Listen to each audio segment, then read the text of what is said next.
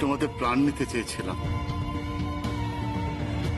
আর তোমরা আমার প্রাণ বাঁচালে। মানুষ এই উপকার আমি জীবনে ভুলবো না। জীবনে না। একটু কিছু খেয়ে নাও রাজকুমারী।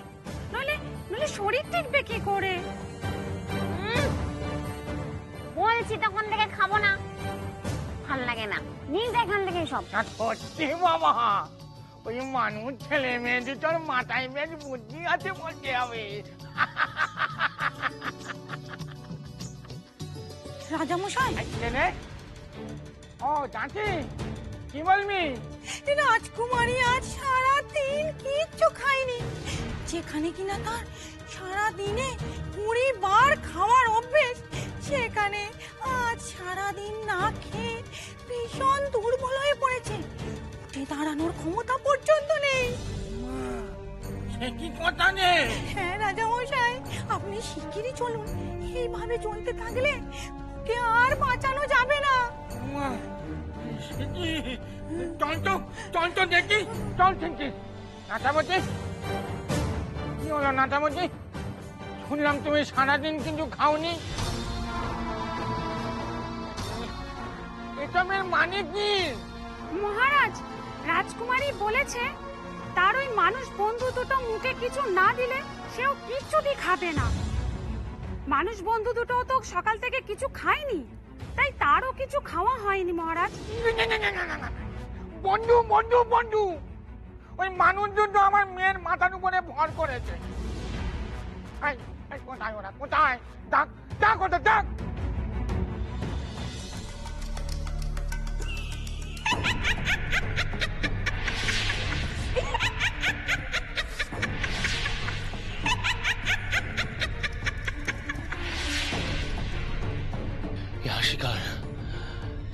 হাসি কোথেকে আসছে? এ তো কোনো মনুষ্যের হাসি হতে পারে না। তো মনে হচ্ছে কারাগারের দিক থেকে আসছে। তাহলে কি আমি যা আশঙ্কা করেছিলাম সেটাই সত্যি?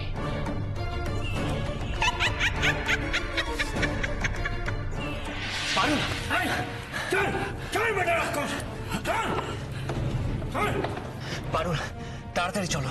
খোকস রাজ আমাদের ডাকছেন। এবার মনে হয় সমস্যার একটা সমাধান হবে। রাক্ষস রাজ্যে যাওয়ার পথের হতিস এবার আমরা ঠিক জানতে পারব। খোকসরা ডাকছেন। এক্ষুনি চলো।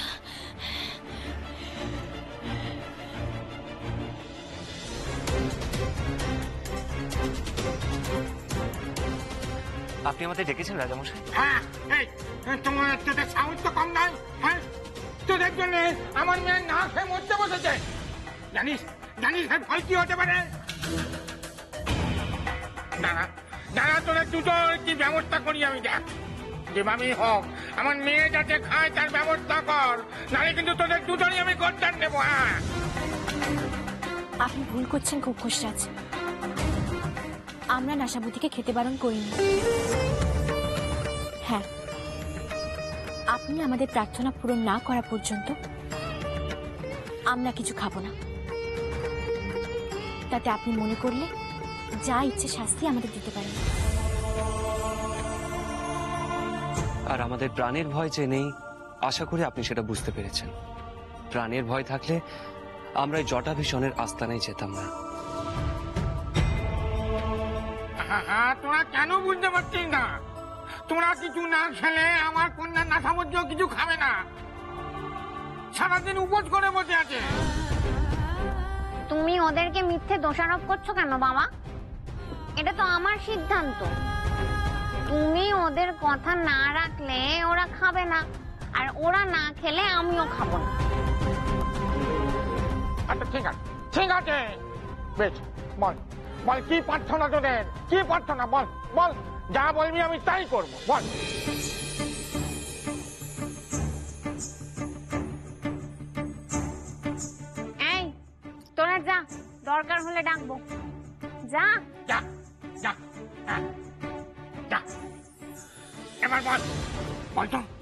কি প্রার্থনা তোদের বল? তোরা যা চাইবি আমি তাই দেবো বল। খোকসরাজ আপনি তো জানেন আমরা কি চাই। রাক্ষস রাজ্যে ঢোকার পথ বলে দিন আমাদের। আমরা সেখানে যেতে চাই। হা হা আচ্ছা তোরা কেন কেন বারবার ওই রাক্ষস রাজ্যে ঢোকার পর জানতে চাইছিস কেন? কেন বুঝতে পারছিস না? কোনো মানুষের পক্ষে সেখানে যাওয়া সম্ভব নয়। পথেই তোদের প্রাণ যেতে পারে। সব জেনে বুঝে আমরা সেখানে যেতে চাইছি কক্ষস রাজ। আমরা রাক্ষস রাজ্যে যাওয়ার পণ করেছি। কেন? কেন? এমন জীবন মরণ পণ করেছিস কেন? কি উদ্দেশ্য? কি উদ্দেশ্য তোদের? আমাকে বলতো? ক্ষমা করবেন রাজামশাই। এক্ষুনি সে কথা আমরা আপনাকে জানাতে পারব না। শুধু এটুকু জেনে রাখুন আমাদের কোনো অসৎ উদ্দেশ্য নেই। আমরা একটা লক্ষ্য নিয়ে এসেছি আর সেটা আমাদের পূরণ করতেই হবে। বেশ বেশ। তোমরা যখন না ছাড়বেন না কিছুতেই ছাড়বি না। ঠিক আছে। ঠিক আছে আমি বলব আমার কোনো আপত্তি নেই।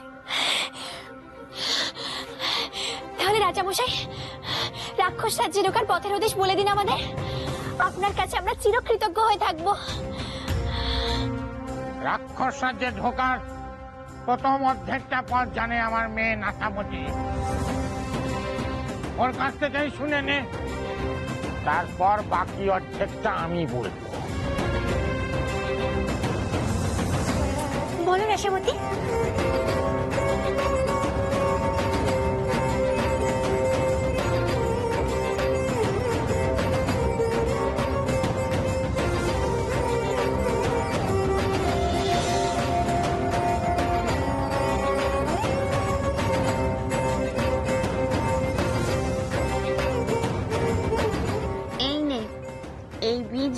যত্ন করে রাখ হুম। বীজ বীজ দিয়ে কি হবে রাসামতি তবে মন দিয়ে শোন। প্রথমে তোদের দক্ষিণের হিজলবন পেরিয়ে যেতে হবে।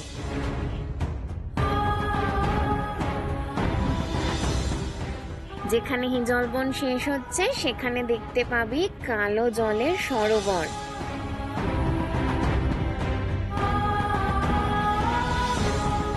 সেই সরোবরের পাড়ে এই বীজটা পুঁতে দিতে হবে। বুঝলি? তারপর? তারপর কোন দিকে যাব? বীজ পুঁতলেই সাথে সাথে গাছ বেরোবে। সোনার গাছে রূপোর ডাল। দেখতে দেখতে চোখের সামনে সেই গাছ বড় হবে। তাতে ধরবে মতির ফল। একটা নীলকণ্ঠ পাখি আসবে সেই ফল খেতে। সেই নীলকণ্ঠ পাখি পথ দেখাবে তোদের। তারপর? আমি এইটুকুই জানি। বাকি পথটা বাবা চেনে।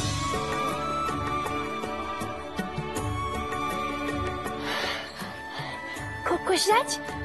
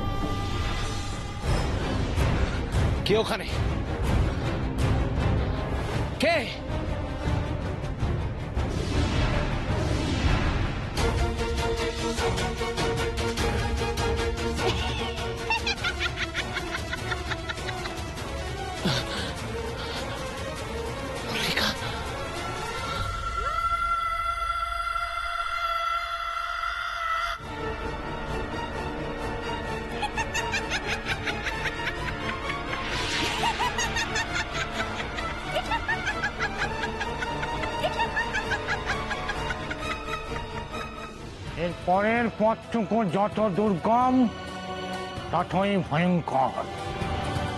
নীলকণ্ঠ পাখি উঠতে উঠতে গিয়ে বসবে এক পাহাড়ের চূড়ায়। এই দুর্গম পাহাড় বেয়ে পুরোই উঠতে হবে তোদের। এই পাহাড়ের চূড়োয় পথ আগলাচ্ছে এক বিশাল রাক্ষস। এত বিশাল যে তার মাথা আকাশ ছুঁয়েছে। আর পা দুটো বট বৃক্ষের মতো।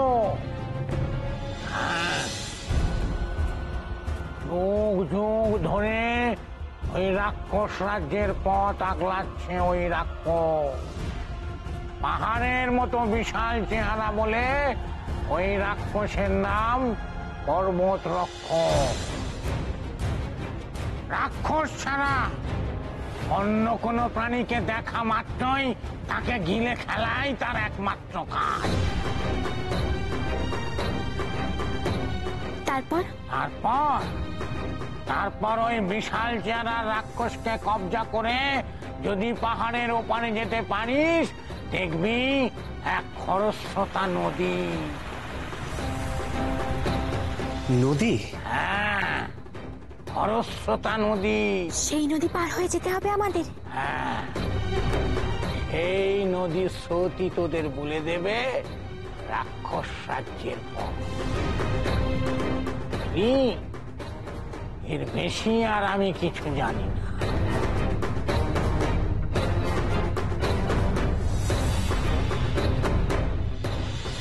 মণিমল্লিকা থামো বলছি। আর এক পাও এগিয়েও না। মল্লিকা এক পাও এগোবে না। মনিকা, আমি সাবধান করে দিচ্ছি। এক পাও এগোবে না কিন্তু। মণিমল্লিকা থামো বলছি। আর এক পাও এগিয়েও না। মল্লিকা আমি কিন্তু তরবারি চালাতে বাধ্য হব।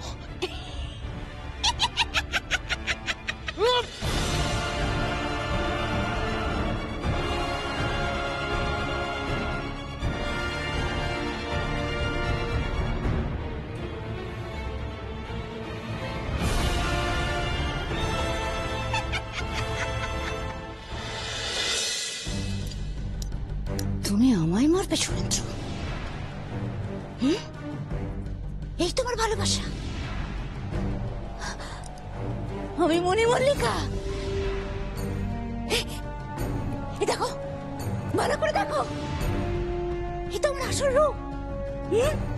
ভালো করে দেখে নাও। রাক্ষসী মনি মল্লিকাকে পছন্দ হয়? পছন্দ হয় আমার এই রূপ? তুমি আমার তুমি আমার মণিমল্লিকা হতে পারো না। না।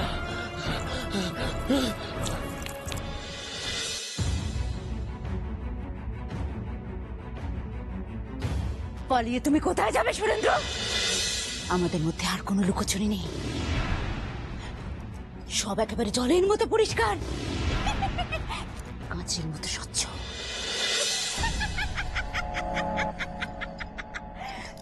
এই সূর্য নগরী এখন রাক্ষসদের রাজ্য।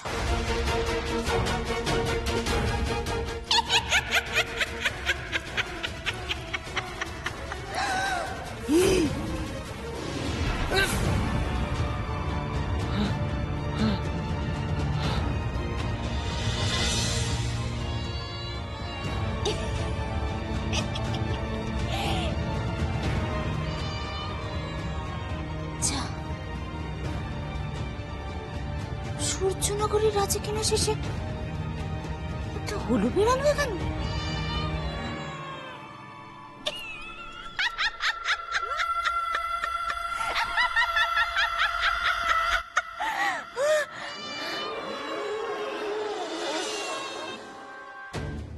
পথের হদিস যখন পেয়ে গেছি তখন আর দেরি করব না আমরা।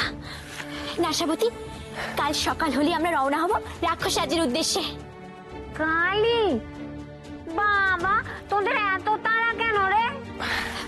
নাশাবতী? আর আমাদের আটকেও না নাশাবতী? ওই রাক্ষস রাজ্যে পৌঁছানোর জন্য আমার মন যে ব্যাকুল হয়ে আছে। এবার আমাদের যেতে দাও।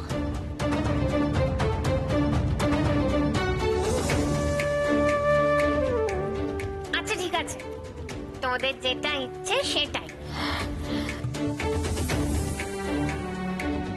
রাজা মশাই আমার কিছু বাছাই করা অস্ত্র লাগবে। সেগুলো পেলে আমাদের বড় উপকার হয়। ও ঠিক আছে ঠিক আছে ঠিক আছে। তোদের যা দরকার কাল সকালে অস্তাঘাট থেকে সব নিয়ে নিবি কেমন? তোরা আমাদের অনেক উপকার করেছি তোদের কোনো কাজে লাগতে পারলে আমাদের খুব ভালো লাগবে। বড় বুড়িমা তো আমাকেও কিছু জিনিস নিতে বলেছিল। সেগুলো তো আমাকে নিতে হবে। বড় বুড়িমা? কে বড় বুড়িমা? কম ভাঙনি যায়নি বুড়ি। রাক্ষস রাজ্য তার বাপের বাড়ির দেশ। ভাঙানি ডাইনি বুড়ি। হেই তোরা তাকে পেলি কোথায়? সেই তো আমাকে ওই আপনি বাঁচাবার তো নাচিয়ে হাঁস আর রঘুরে বেড়াল জোগাড় করার জন্য মহাইগলের কাছে নিয়ে গিয়েছিল। বড় বুড়িমা আমাকে বলেছিল রাক্ষস রাজ্যে যাওয়ার আগে ওই তিনটে জিনিস যেন আমি মনে করে নিই। একটা বড় পাকা পেঁপে এক মুঠো ভাজা কলাই আর একটা ছোট্ট জ্যান্ত টুনটুনি পাখি। পেঁপে আর কলাই ভাজা তো, সে তো আমি এক্ষুনি এনে দিতে পারি। দাঁড়া। আয় তো দেখি একটা বড় পেঁপে। এনে। কলাই ভাজা। তো দেখি কুড়মুড় কুড়মুড় কলাই ভাজা।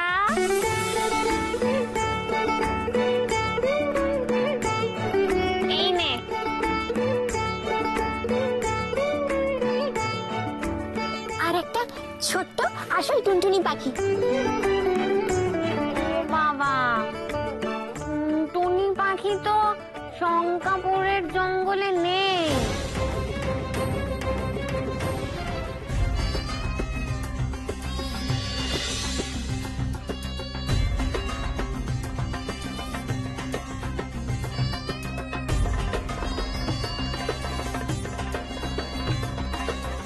প্রণাম রানীমা। প্রণাম রানীমা। দিন শুভ হোক।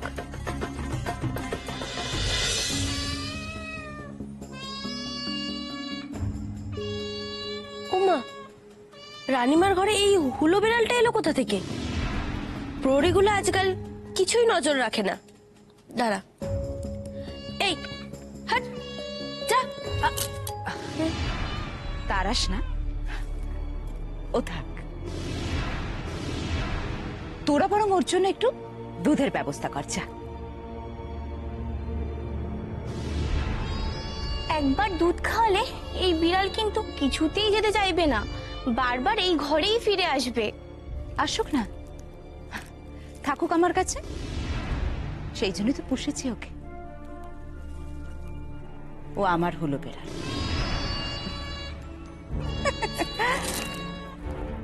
যা। তোরা বরং শিগগির ওর জন্য দুধের ব্যবস্থা কর। আমার হলুর খিদে পেয়েছে যে। যথাজ্ঞা রানিমা।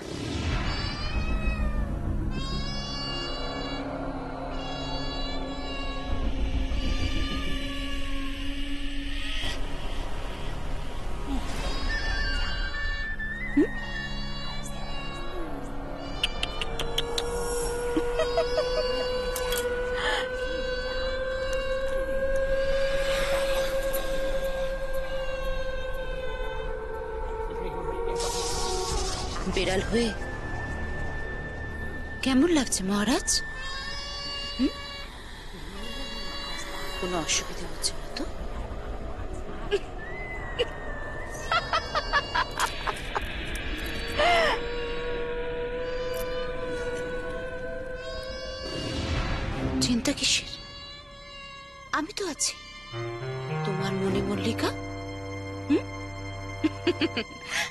আমি থাকতে আমার সুরেন্দ্রর কোনো কষ্ট হতে দেব না আমি।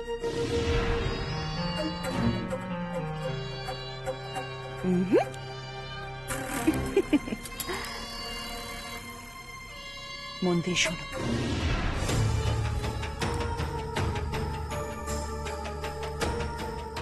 তোমাকে আমি এখন বেশ কিছু দরকারি কথা বলব, সুরেন্দ্র।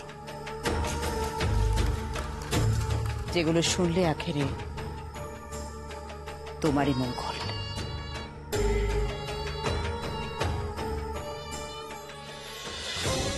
কোথায় পাবো আসল টুনটুনি পাখি? আচ্ছা আচ্ছা ঠিক আছে। তুই চিন্তা করিস না বন্ধু আমি তো আছি। সকালটা হোক সূর্যটা উঠুক পাখিরা বাসা থেকে বেরোক তারপর আমি শঙ্কাপুরের জঙ্গলের বাইরে থেকে একটা ছোট্ট আসল টুনটুনি পাখি তোকে এনে দেব হুম? ও ভালো মানুষের ছেলে মেয়ে। আচ্ছা তোমাদের সব ইচ্ছে তো পূরণ হলো। এবার মুখে কিছু দে।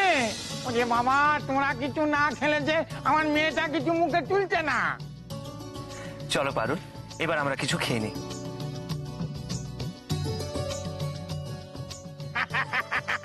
এই তো সব চিন্তায় দূর হয়ে গেল। দাঁড়া দাঁড়া হ্যাঁ এই এক এই দুই এই তিন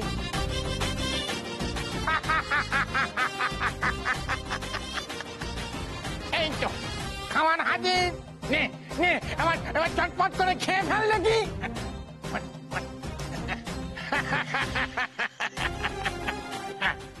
খাও। এই প্রথম আমার মেয়ে সারা দিন ধরে উপোস করল। হ্যাঁ।